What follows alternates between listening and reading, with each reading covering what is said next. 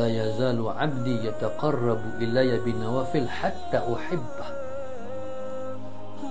sentiasalah sentiasalah seseorang itu mendekatkan diri kepadaku dengan ibadah-ibadah sunat.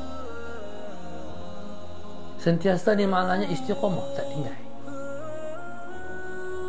Dia buat sampai Allah sampai Allah kasih. Allah kata hatta uhibbah buatlah sampai Allah kasih macam mana kita rasa kasih Allah pada kita? Jadi hati kita tu duk teringat-ingat nak buat. Tidur malam bukan nak tidur rapat sampai subuh tapi tidur malam nak bangkit.